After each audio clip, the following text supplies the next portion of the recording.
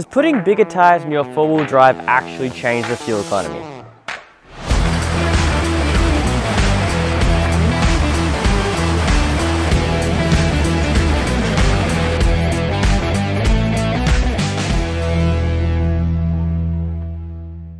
When you put bigger tyres in your car, you're essentially changing the gearing of it. You'll do less revolutions per kilometre, but your car will have to work harder to do so. A four-wheel drive, or any car for that matter, should be geared so it stays as close to peak torque RPM as possible for the greatest efficiency. If you have too large of a tyre, the engine will fall below its range of optimal efficiency, thus requiring more fuel to keep you going. For most four-wheel drives, putting on bigger tyres will result in a noticeable difference of power and torque. However, this is sometimes less obvious in diesel cars as they produce large amounts of torque and peak torque in them occurs practically near idle. Putting a bigger tyre on the Pajero requires this engine to work a lot harder and able to turn it.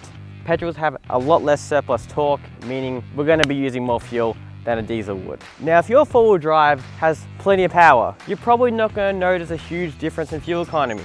But if your engine has to work harder in order to spin those tyres, you're going to notice a difference. Increasing the width of the tyre itself can also impact your fuel economy as you have more tyre touching the road, which means you have more resistance, which means you have to use more power, which means you have to use more fuel to keep yourself at that speed.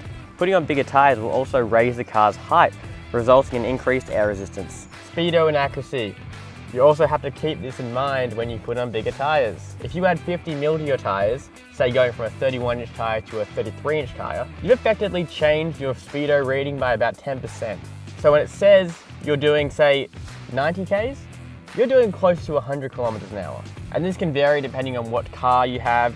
For example, this Pajero was factory out on, I think, 29 inch size tires. Now it's on 32s. The speedo's out by 10 kilometers. And this also means that your odometer will be out by roughly 10%. So when you have done 90 kilometers, you've actually done closer to 99, 100 kilometers. So this is another reason people sometimes think they're getting worse fuel economy your fuel economy might not be as bad, but your odometer is reading that it's bad because you're going further than the car actually thinks you're going because you have.